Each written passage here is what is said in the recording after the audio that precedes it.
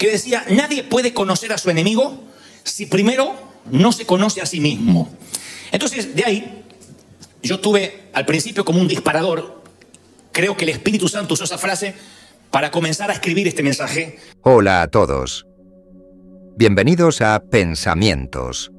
Hoy les traigo una reflexión profunda de Dante Gebel, titulada Cautivos mentales. En este mensaje poderoso, Dante nos invita a liberar nuestra mente de las cadenas que nos impiden alcanzar nuestro máximo potencial. Acompáñame en este viaje donde exploraremos cómo nuestros pensamientos moldean nuestra realidad y cómo, al cambiar nuestra mentalidad, podemos transformar nuestras vidas. Vamos a sumergirnos juntos en esta inspiradora enseñanza.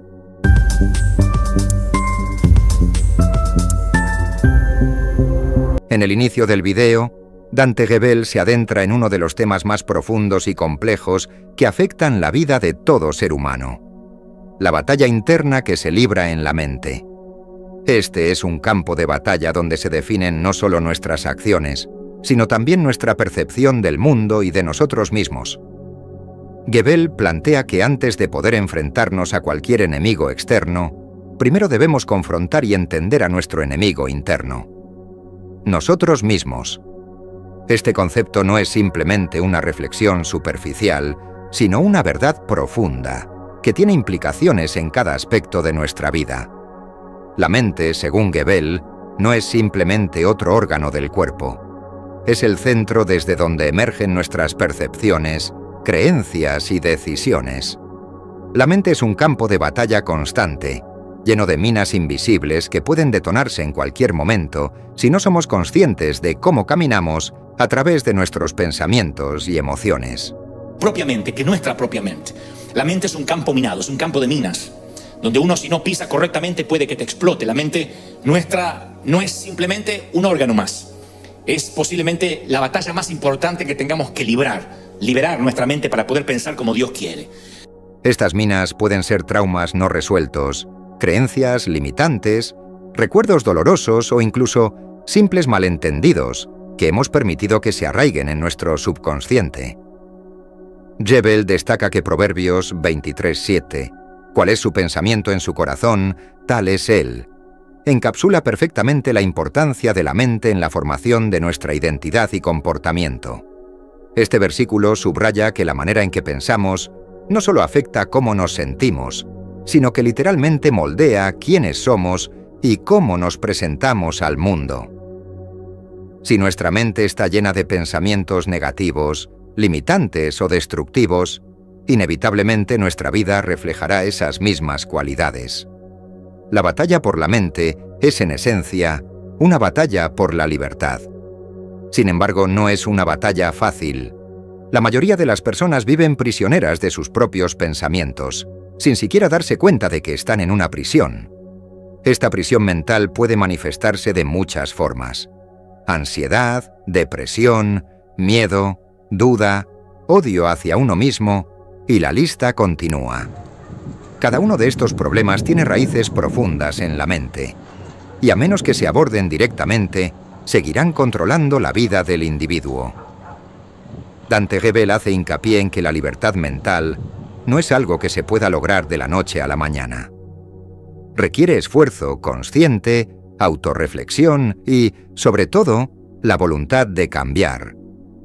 Para muchos, la idea de enfrentarse a sus propios pensamientos y emociones puede ser Pero la mente, aterradora. Cuando está cautiva, a pesar de que es una promesa de Dios, libertad a los cautivos, vaya que es una tarea que demanda oración, que demanda fe. Porque una mente cerrada no te deja ver en fe, no te deja ver el futuro. En cambio, si la mente es libre, si tu mente es libre, las posibilidades que tienes en el futuro no tienen límite. Es más fácil distraerse con el trabajo, las relaciones o el entretenimiento que enfrentarse a las verdades incómodas que yacen dentro de uno mismo. Sin embargo, es solo al confrontar estas verdades que uno puede comenzar a liberarse de las cadenas que atan la mente. La batalla de la mente también implica ser consciente de las influencias externas que afectan nuestros pensamientos. Vivimos en una era en la que estamos constantemente bombardeados por información, la mayoría de la cual no es positiva. Las noticias, las redes sociales, la publicidad, Todo está diseñado para influir en la forma en que pensamos y sentimos. Si no somos conscientes de estas influencias, fácilmente podemos ser arrastrados por ellas, adoptando creencias y actitudes que no son realmente nuestras. Por lo tanto, la primera etapa en la batalla por la libertad mental es el autoconocimiento. Conocerse a sí mismo implica mucho más que simplemente saber qué nos gusta o qué nos disgusta. Es un proceso profundo de entender nuestras motivaciones, nuestras heridas, nuestras fortalezas y debilidades. Es sólo al entendernos a nosotros mismos que podemos comenzar a tomar el control de nuestra mente, en lugar de permitir que nuestra mente nos controle a nosotros. Dante Gebel utiliza una metáfora poderosa al describir la mente como un campo de batalla. Esta metáfora nos recuerda que la vida no es simplemente una serie de eventos que suceden al azar, sino una serie de desafíos que debemos enfrentar y superar. Pero nuestro cerebro es tan vago que una vez que creemos algo, no queremos no creerlo. La misma estructura que nos hace enseñable también nos hace no enseñables. Porque si uno cree que ya se sabe todo, no le queda nada por aprender. La Biblia lo llama necio o sabios en su propia opinión. Aquel que dice yo ya lo sé todo. Y es muy irónico que las personas más inteligentes son las más conscientes de lo mucho que no saben.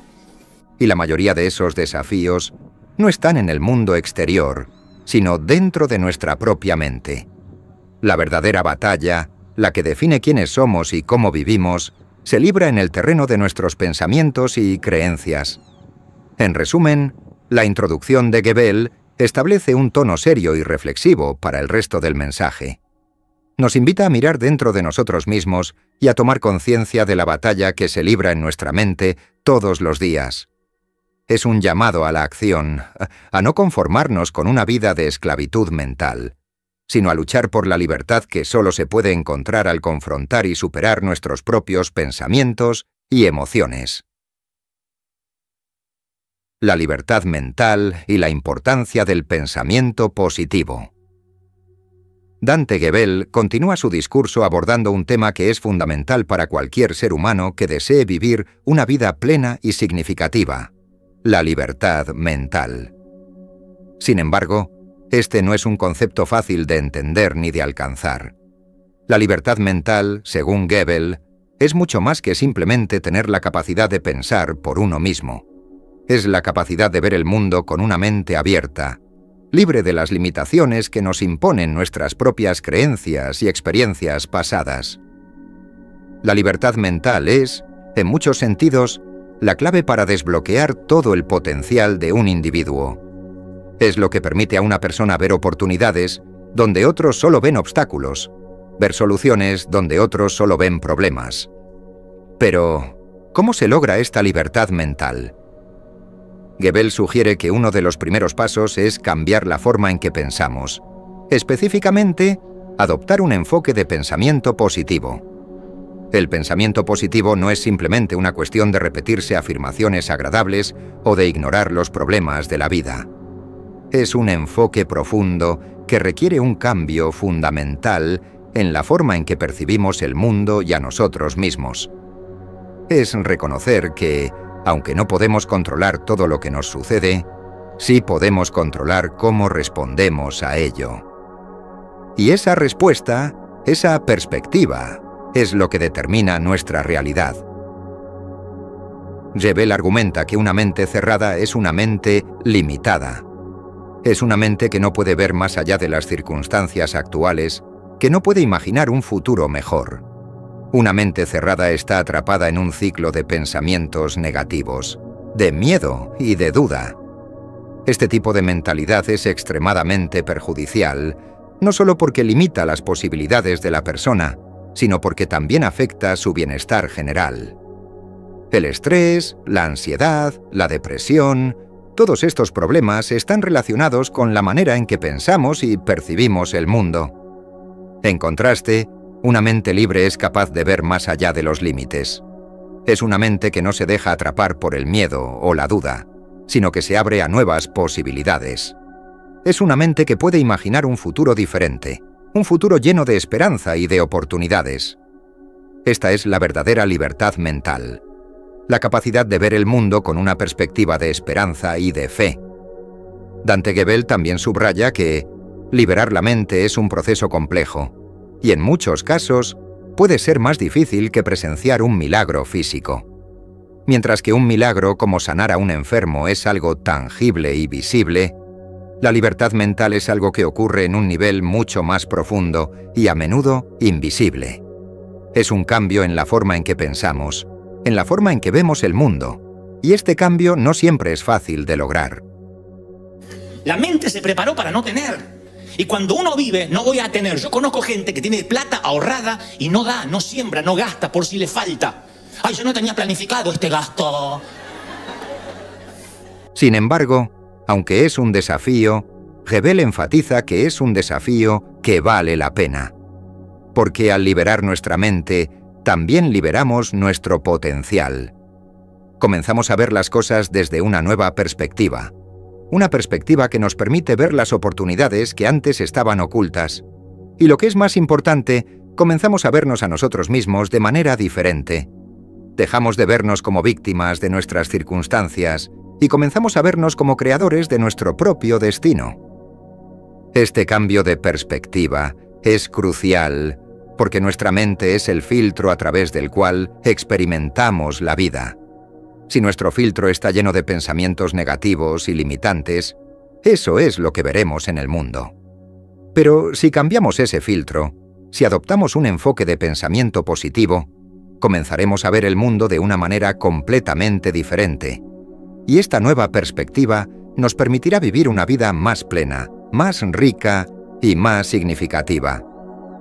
Gebel utiliza varias metáforas para ilustrar este punto. Una de las más poderosas es la comparación de la mente con un campo minado. Al igual que un campo minado, nuestra mente está llena de peligros invisibles, de pensamientos negativos y creencias limitantes que pueden detonarse en cualquier momento. Pero, al igual que un campo minado, también se puede limpiar.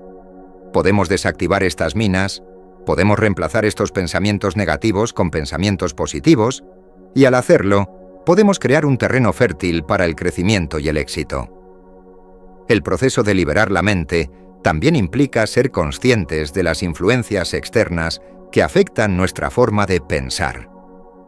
En la sociedad actual, estamos constantemente bombardeados por mensajes negativos. En las noticias, en las redes sociales, en la publicidad.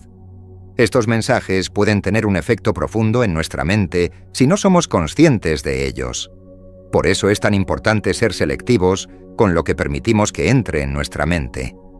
Necesitamos rodearnos de pensamientos y mensajes positivos que nos inspiren y nos motiven a ser mejores. Gebel concluye esta sección destacando que la libertad mental no es algo que se pueda lograr una vez y luego olvidarse de ello. Es un proceso continuo, una batalla diaria que debemos librar. Pero es una batalla que vale la pena, porque al final nos permite vivir una vida libre de las cadenas de la duda, el miedo y la desesperanza. Nos permite vivir una vida llena de fe, esperanza y posibilidades infinitas. En resumen, la libertad mental es la clave para desbloquear todo nuestro potencial. Es lo que nos permite ver el mundo con una perspectiva de esperanza y de fe, en lugar de con una perspectiva de miedo y duda. Y aunque alcanzar esta libertad no es fácil, es un esfuerzo que vale la pena, porque al final nos permite vivir la vida en su máxima expresión. La mente como barrera o facilitador. Dante Gebel aborda un tema que es central en la vida de cualquier persona.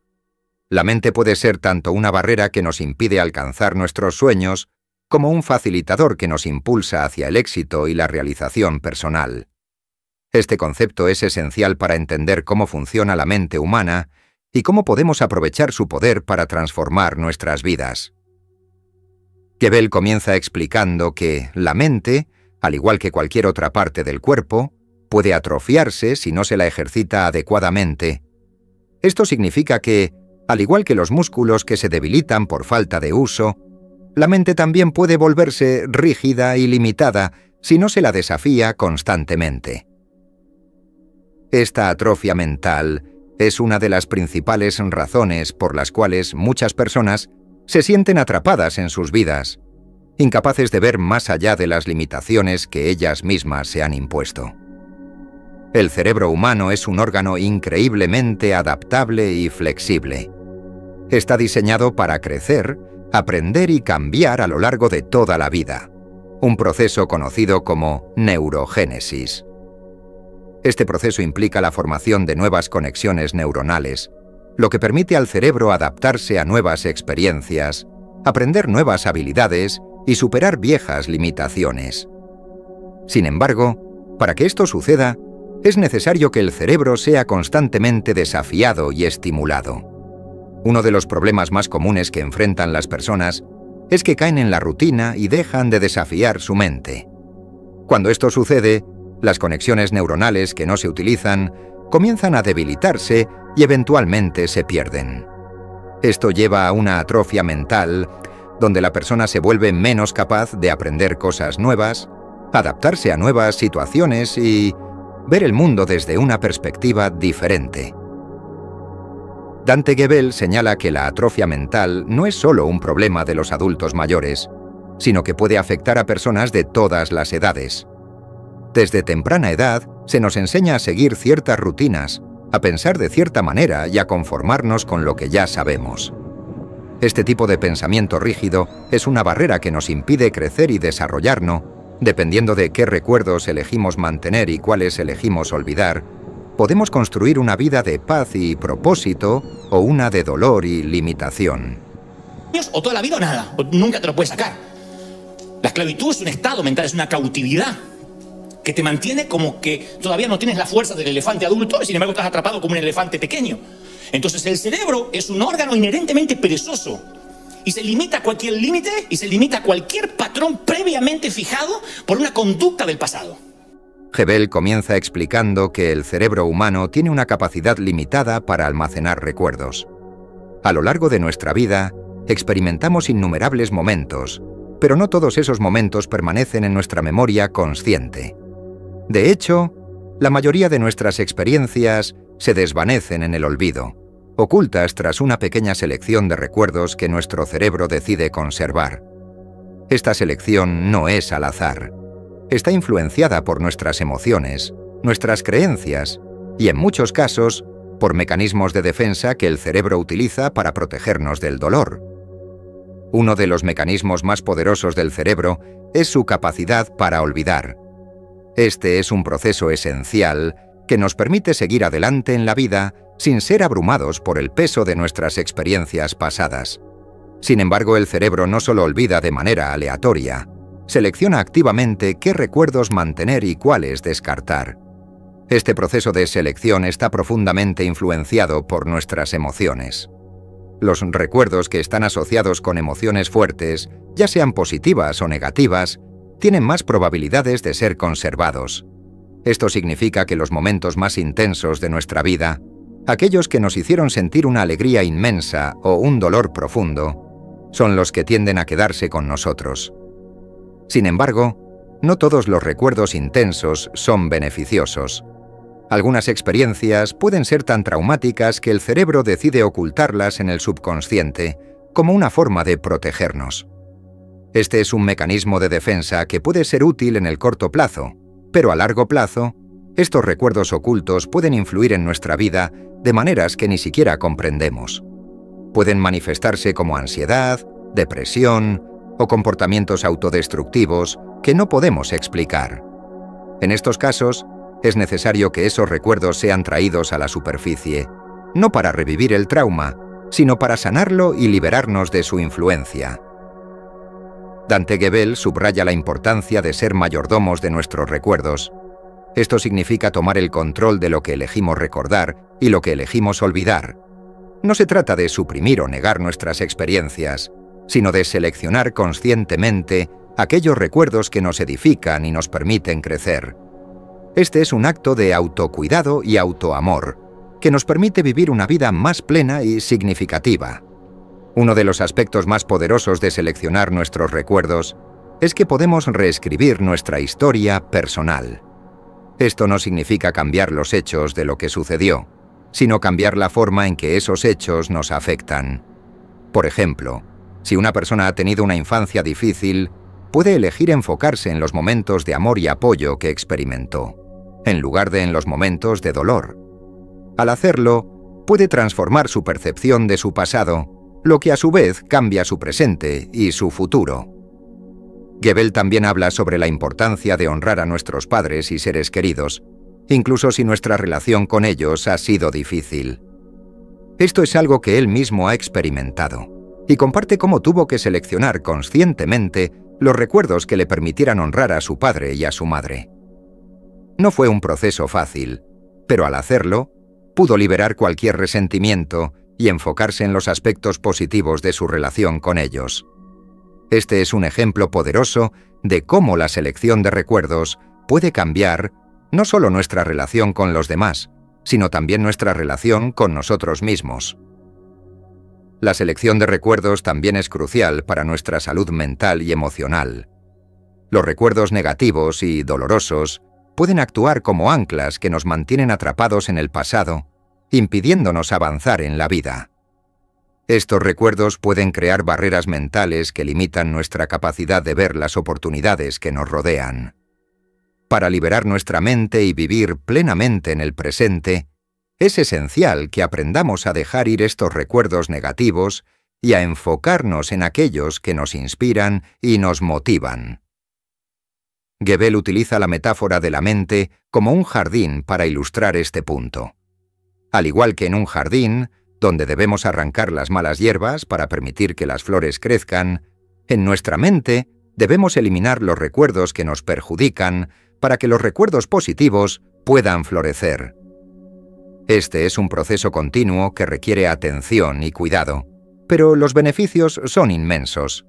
Al seleccionar conscientemente nuestros recuerdos, podemos crear un entorno mental que sea propicio para el crecimiento, la paz y la felicidad. Otro aspecto importante que Dante Gebel destaca es que nuestros recuerdos, ya sean conscientes o subconscientes, crean barreras en nuestra mente. Estas barreras actúan como filtros a través de los cuales percibimos nuestras experiencias. De modo que si el Señor no me liberara, de la cautividad, yo no estaría inspirando a nadie hoy. Estaría transmitiendo los mismos miedos, estaría siendo también un guardia de prisión, diciendo, usted no haga, usted qué hace, usted por qué se puso ese peinado, qué hace con ese vestido, qué hace Estaría así. Si nuestros recuerdos están llenos de dolor y negatividad, veremos el mundo a través de un lente oscuro y limitado. Pero si nuestros recuerdos están llenos de amor, gratitud y esperanza, veremos el mundo con ojos nuevos y llenos de posibilidades. Jebel también menciona que los primeros seis años de vida son cruciales para la formación de nuestra personalidad y carácter.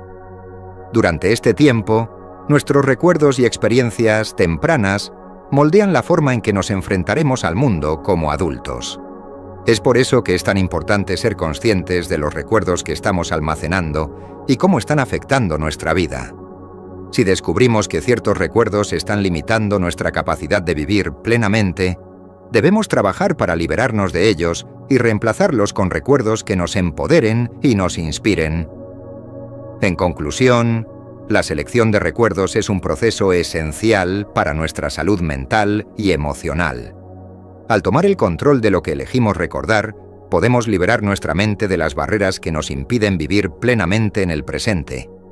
Podemos reescribir nuestra historia personal, transformar nuestra percepción del pasado y abrirnos a un futuro lleno de posibilidades. La selección de recuerdos no es solo una técnica de autoayuda, sino un acto de amor propio que nos permite vivir la vida en su máxima expresión. Dante Gebel aborda un tema que es tan desafiante como crucial para el crecimiento personal y espiritual, la necesidad de desaprender.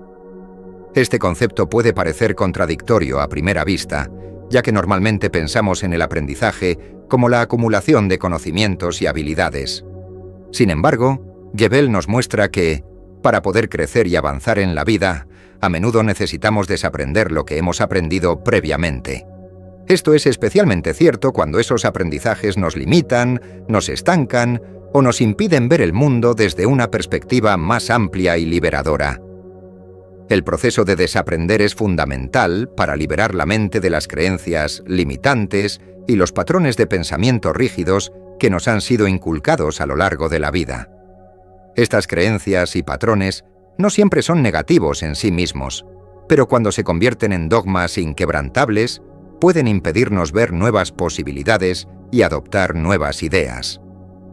Gebel señala que una de las mayores barreras para el crecimiento personal y espiritual es la rigidez mental, la tendencia a aferrarse a lo conocido y a resistir el cambio. Gebel explica que la mente humana tiene una inclinación natural hacia la comodidad y la estabilidad. Una vez que aprendemos algo, nuestro cerebro tiende a mantener ese conocimiento de manera rígida lo que nos hace reacios a desaprenderlo, incluso cuando ya no nos sirve. Este fenómeno es particularmente evidente en las personas que han sido educadas en un entorno altamente estructurado, donde se les ha enseñado a seguir reglas y normas sin cuestionarlas. Cuando tú provocas algo nuevo, tu mente se empieza a ensanchar. Y dicen que los que más viajan son los más inteligentes. Yo de algo sabía que por algo me había venido la inteligencia.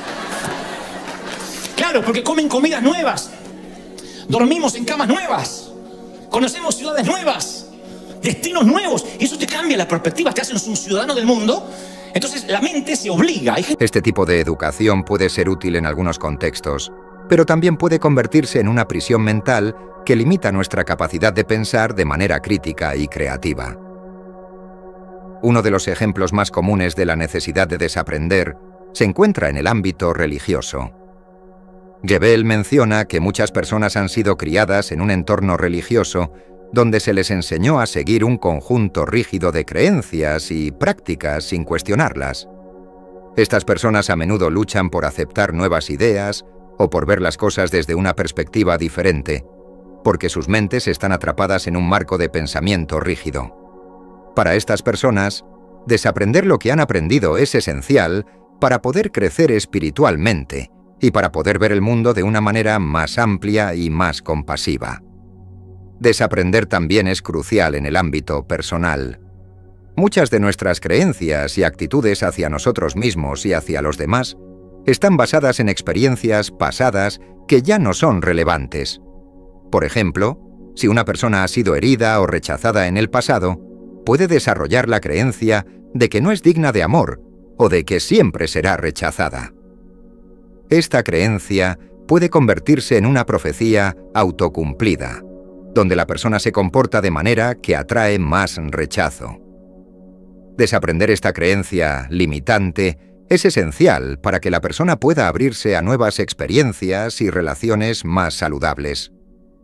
Hebel también habla sobre la importancia de desaprender en el contexto de la innovación y la creatividad. La mayoría de los grandes avances en la historia de la humanidad han ocurrido cuando alguien se atrevió a desaprender lo que se daba por sentado y a pensar de manera diferente. Einstein, por ejemplo, tuvo que desaprender muchas de las ideas establecidas en la física para poder desarrollar su teoría de la relatividad.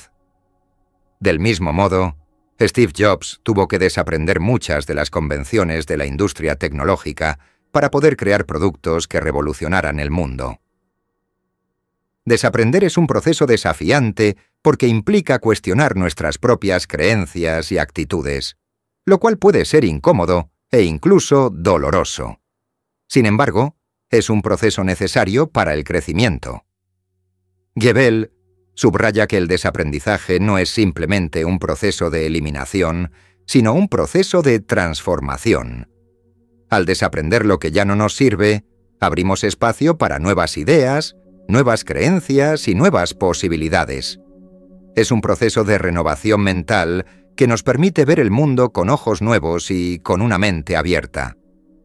Un aspecto importante del proceso de desaprendizaje es la humildad.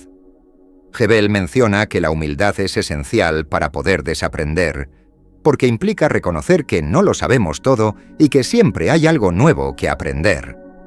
La humildad nos permite abrirnos a nuevas ideas y a aceptar que nuestras creencias y conocimientos actuales pueden estar equivocados o ser incompletos.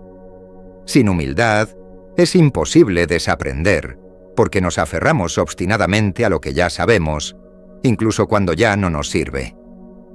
Hebel también habla sobre la importancia de la curiosidad en el proceso de desaprendizaje.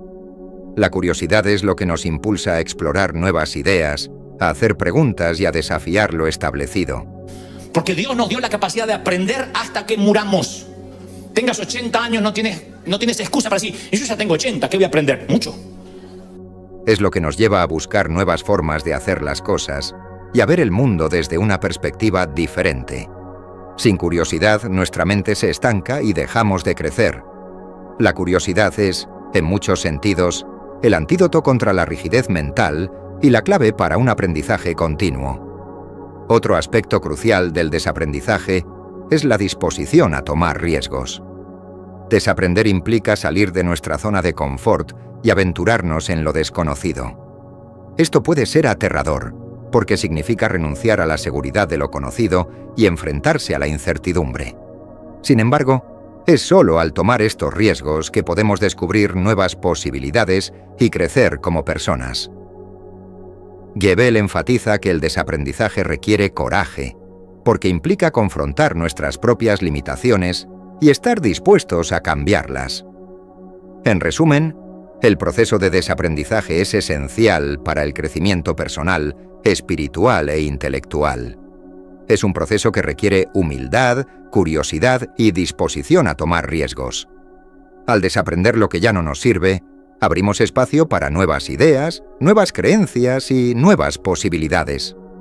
Este es un proceso continuo que nos permite ver el mundo con una mente abierta y llena de posibilidades.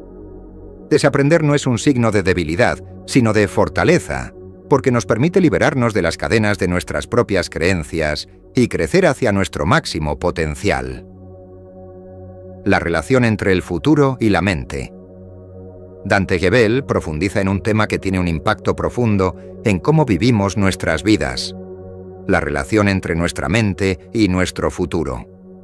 Esta relación es compleja y multifacética, pero es esencial para entender cómo nuestras creencias, pensamientos y actitudes moldean no solo nuestro presente, sino también el futuro que experimentamos. Hebel desafía la noción de que el futuro es un camino predeterminado, y en su lugar presenta la idea de que el futuro es algo que co-creamos con Dios a través de nuestras decisiones, pensamientos y acciones.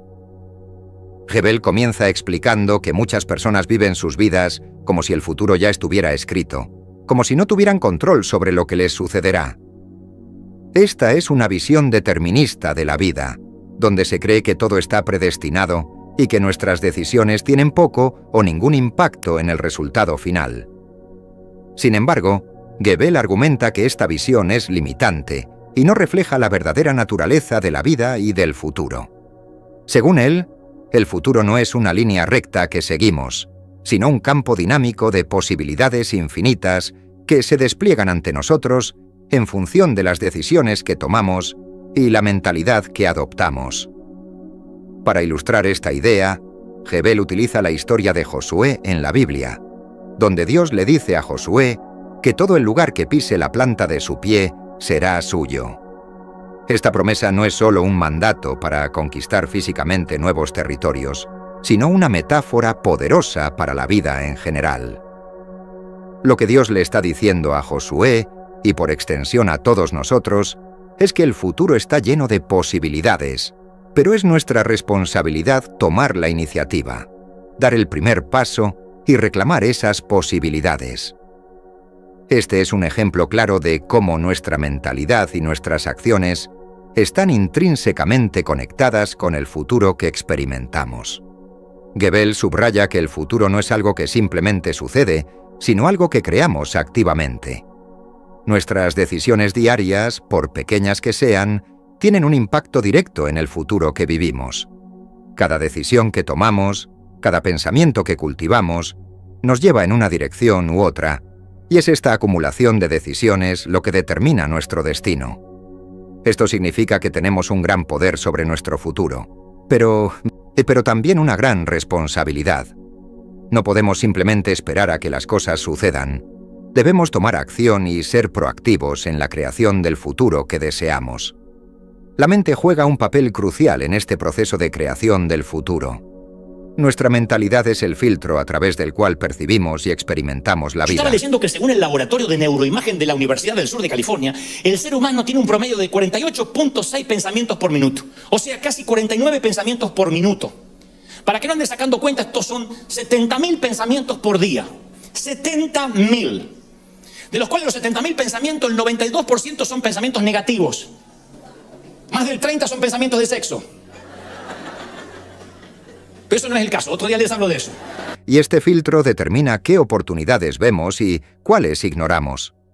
Si nuestra mente está llena de pensamientos limitantes y negativos, veremos el mundo como un lugar lleno de obstáculos y dificultades. Pero si nuestra mente está abierta y llena de pensamientos positivos y expansivos, veremos el mundo como un lugar lleno de oportunidades y posibilidades. Este es el poder de la mente. Puede ser una herramienta para crear un futuro brillante o una barrera que nos impide alcanzar nuestro máximo potencial. Gebel también destaca la importancia de tener una visión clara del futuro que deseamos crear. Sin una visión, es fácil perderse en el caos de la vida diaria y ser arrastrado por las circunstancias en lugar de tomar el control de nuestro destino. Tener una visión clara nos da una dirección y un propósito, y nos ayuda a tomar decisiones que estén alineadas con ese propósito. Sin embargo, Gebel advierte que esta visión no debe ser rígida, sino flexible y adaptable, porque la vida está llena de cambios y sorpresas, y debemos estar dispuestos a ajustar nuestra visión a medida que evolucionamos y crecemos. La relación entre la mente y el futuro también se manifiesta en nuestra capacidad para imaginar y visualizar. La imaginación es una herramienta poderosa que nos permite ver más allá de nuestras circunstancias actuales y visualizar un futuro diferente. Gebel explica que la imaginación no es solo una herramienta para soñar, sino una herramienta para crear. Al imaginar un futuro diferente, estamos plantando las semillas de ese futuro en nuestra mente, y esas semillas eventualmente crecerán y se manifestarán en nuestra realidad. Este es el principio detrás de la visualización. Al visualizar un futuro positivo y exitoso, estamos programando nuestra mente para trabajar hacia ese futuro y hacer que se convierta en realidad. Otro aspecto importante que Gebel menciona es la necesidad de desaprender las ideas limitantes que nos impiden ver el futuro de manera expansiva. A lo largo de nuestras vidas, hemos sido condicionados a creer en ciertos límites y restricciones, ya sea por nuestra educación, nuestra cultura o nuestras experiencias pasadas. Estos límites pueden convertirse en barreras que nos impiden ver más allá de lo que conocemos y explorar nuevas posibilidades. Para poder crear un futuro diferente, es necesario que desaprendamos estos límites y nos abramos a nuevas ideas y formas de pensar. Jebel también habla sobre el papel de la fe en la creación del futuro. La fe es la creencia en lo que no se puede ver, la confianza en que hay algo más allá de nuestras circunstancias actuales. La fe nos permite ver posibilidades donde otros ven imposibilidades. Hay diferentes formas de ver la vida. Hay algunos que ven una oportunidad y otros ven un monstruo. Hay algunos que ven una ola para surfear y otros creen que es una ola que los va a ahogar. Y es la misma ola y nos da el coraje para tomar riesgos y perseguir nuestros sueños, incluso cuando no hay garantías de éxito. La fe es lo que nos impulsa a seguir adelante, a pesar de los obstáculos y desafíos que enfrentamos en el camino. En resumen, la relación entre la mente y el futuro es profunda y multifacética. Nuestra mentalidad, nuestras decisiones y nuestra fe son los elementos clave que determinan el futuro que experimentamos. Al adoptar una mentalidad abierta y expansiva, al tomar decisiones alineadas con nuestra visión y al cultivar una fe inquebrantable, podemos co-crear un futuro lleno de posibilidades y oportunidades. El futuro no es algo que simplemente sucede, es algo que creamos activamente, y está en nuestras manos decidir qué tipo de futuro queremos vivir. La adoración y el conocimiento. En este punto del video, Dante Gebel explora la relación entre la adoración y el conocimiento, un tema que toca la esencia de nuestra conexión con lo divino. Gebel sugiere que la verdadera adoración no es simplemente una rutina religiosa, sino una expresión profunda y consciente de amor y reverencia hacia Dios, que surge de un conocimiento profundo y continuo. Este conocimiento no es solo intelectual, sino también espiritual, y se desarrolla a medida que ampliamos nuestra mente y corazón para comprender más plenamente la grandeza de Dios y su creación. Gebel comienza señalando que la adoración es mucho más que asistir a servicios religiosos o cantar himnos. La adoración, en su forma más pura, es un acto de reconocimiento de la majestad y la santidad de Dios. Es un reconocimiento que surge de un lugar de asombro y maravilla, un lugar donde nos damos cuenta de lo inmenso y lo infinito que es Dios, y cuán pequeños somos en comparación. Este asombro y maravilla solo pueden surgir de un profundo conocimiento de Dios y de su obra en el mundo. Este conocimiento de Dios no es algo que se adquiere de la noche a la mañana. Es un proceso continuo que requiere... que uno tenga en la vida es lo que va a encontrar. La mente es un filtro, entonces uno crea un filtro mental. Uno no puede llevar todos los pensamientos cautivos, pero todos los pensamientos van, van entrando por ese filtro. Y ese filtro de alguna forma es como que los recibe los pensamientos, algunos los ejecta y otros los distorsiona para que piensen conforme a tu filtro. Estudio, reflexión y una mente abierta. Hebel compara este proceso con la forma en que un astrónomo estudia el cielo. Un astrónomo que ha pasado años estudiando las estrellas, los planetas y las galaxias, puede ver en el cielo nocturno cosas que el ojo inexperto no puede percibir.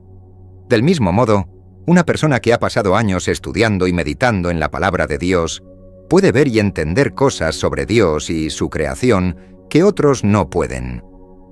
La adoración, según Gebel, es una respuesta a este conocimiento. Cuando realmente comprendemos la grandeza de Dios, no podemos evitar adorarlo. Pero esta adoración no es algo estático. Es algo que debe crecer y evolucionar a medida que crecemos en nuestro conocimiento de Dios.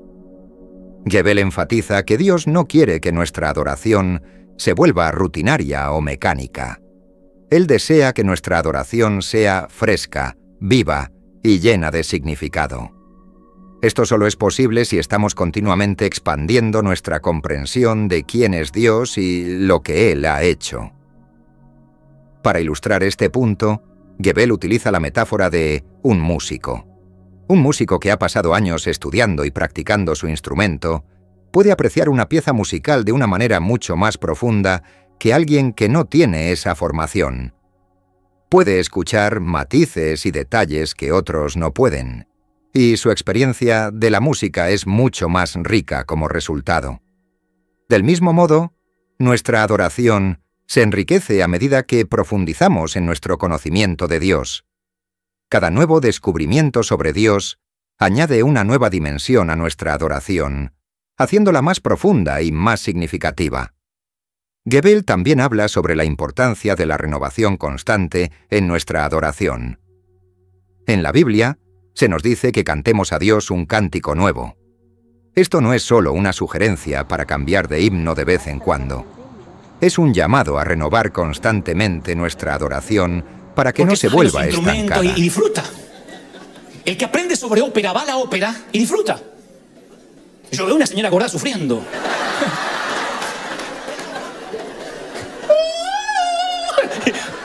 y el que está en la ópera yo. Yo digo, sáquenle la muela ya. A medida que aprendemos más sobre Dios, nuestra adoración debe reflejar ese nuevo conocimiento. Debe ser una expresión continua de nuestro crecimiento espiritual y de nuestra relación con Dios. La relación entre la adoración y el conocimiento también se manifiesta en la forma en que vivimos nuestras vidas. La verdadera adoración no se limita a los momentos en que estamos en la iglesia o en oración. Se extiende a cada aspecto de nuestra vida diaria. Cada acción, cada decisión, puede ser un acto de adoración si se hace con la intención de honrar a Dios. Pero para vivir de esta manera, debemos tener un conocimiento profundo de lo que significa honrar a Dios en cada situación. Esto requiere estudio, reflexión y una mente abierta y receptiva. Gebel subraya que el conocimiento no es lo opuesto a la fe, como a veces se ha malinterpretado. De hecho, el conocimiento y la fe se complementan mutuamente. La fe sin conocimiento puede ser ciega y vacía, mientras que el conocimiento sin fe puede ser seco e intelectual. Pero cuando combinamos el conocimiento con la fe, nuestra adoración se convierte en una expresión rica y vibrante de nuestra relación con Dios. Es una adoración que nace de un lugar de comprensión profunda y de una confianza inquebrantable en la bondad y la soberanía de Dios. Otro aspecto crucial que Gebel menciona es la importancia de la curiosidad y el deseo de aprender en nuestra relación con Dios. Dios nos ha dado una mente inquisitiva, y Él desea que la usemos para explorar su creación y para conocerlo más profundamente. Esta curiosidad nos impulsa a estudiar la Biblia, a aprender sobre la historia de la Iglesia, a explorar la teología y a buscar respuestas a las preguntas difíciles. Y a medida que aprendemos más, nuestra adoración se vuelve más rica y más significativa. Quebel también habla sobre el peligro de caer en una adoración rutinaria o superficial. Es fácil caer en la trampa de simplemente ir a la iglesia, cantar los himnos y escuchar el sermón sin realmente conectarnos con Dios. Pero la verdadera adoración va mucho más allá de estos rituales externos. Es una experiencia interna y profunda, que surge de un lugar de amor y reverencia hacia Dios. Para evitar que nuestra adoración se vuelva rutinaria, debemos estar continuamente buscando nuevas formas de conectarnos con Dios y de expresar nuestro amor por Él. En conclusión, la adoración y el conocimiento están profundamente entrelazados. Cuanto más conocemos a Dios, más profunda y significativa se vuelve nuestra adoración. Este conocimiento no es solo intelectual, sino también espiritual y se desarrolla a medida que expandimos nuestra mente y corazón para comprender más plenamente la grandeza de Dios y su creación. La verdadera adoración es una respuesta a este conocimiento, y debe ser fresca, viva y llena de significado. Es un acto continuo de renovación y de crecimiento que refleja nuestra relación en evolución con Dios. Vas a generar por tu filtro el mundo que salgas a buscar cada mañana. Entonces yo quiero que mañana lunes te levantes y digas, yo voy a buscar aptitudes de fe, yo voy a buscar esperanza, voy a buscar alegría, yo voy a buscar oportunidades. Vas a ver que ahí van a estar las oportunidades porque viajan contigo.